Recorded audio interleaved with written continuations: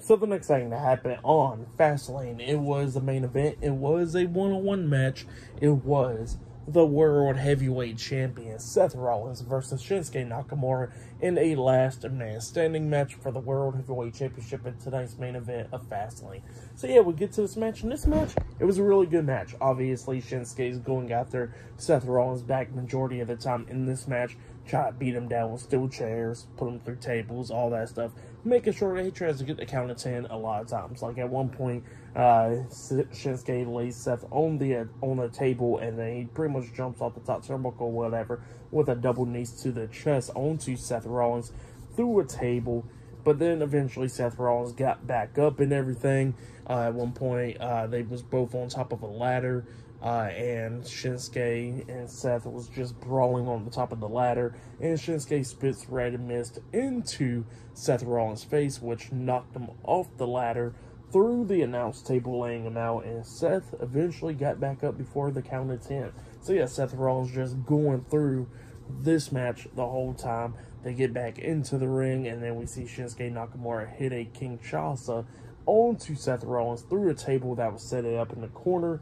The referee starts counting, uh, and then eventually, when the referee was close to the count of 10, he got up to the count of 9. Seth Rollins managed to roll out the ring and land on both of his feet, which obviously breaks the count. And, you know, Shinsuke and Seth is just brawling and everything, going through the crowd and all that stuff. But then eventually they get onto this platform, and then we see Seth Rollins hit Falcon's arrow onto Shinsuke Nakamura off the platform through a table. Referee starts counting, and yeah, he just kept on counting and counting and counting all the way up until he got to the count of 10. And yeah, uh, Seth Rollins defeated Shinsuke Nakamura in the last man standing match, and he has retained the World Heavyweight Championship. That's what happened. Great match. I really liked it. It was a good match. It sucks that Damian Priest did not cash in the Money in the Bank briefcase because you would have been thinking that he definitely would have cashed in the briefcase tonight on Seth. Definitely after Seth is like you know injured and all that stuff. But yeah, uh, that did not happen.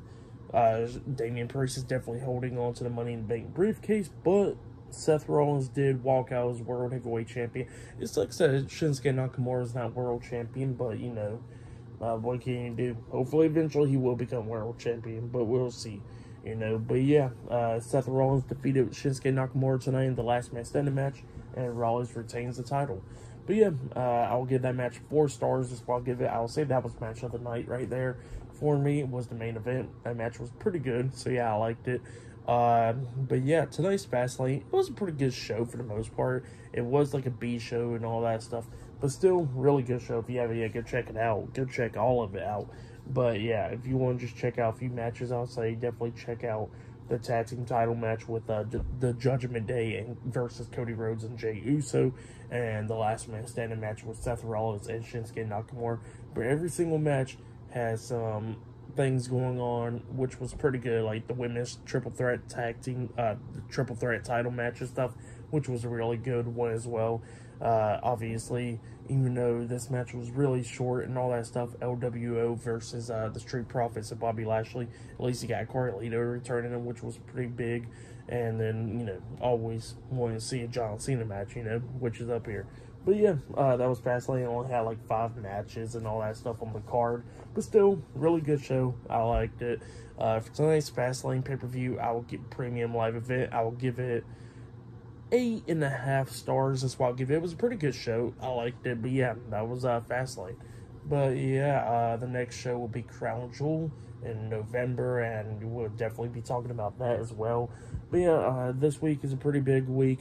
Raw on Monday, which I'll definitely be talking about. NXT and AEW Dynamite. I'll talk about both the, both of those shows on Tuesday, so yeah, look out for that. And then Friday Night SmackDown, which is going to be a pretty big SmackDown season premiere with Roman Reigns returning and all that stuff this Friday. Definitely be talking about that as well. But yeah, uh, be talking about all those shows this week. Definitely look out for all that. And yeah, that has been my WWE Fastlane 2023 reviews like, subscribe, subscribe to TNW Wrestling on YouTube, subscribe to my other channel, World of Chris, and subscribe to this channel, Chris Players, and follow me on Twitter, Instagram, and both of my TikToks. I'll be down there in the description box, and I'll see you guys later. Until then.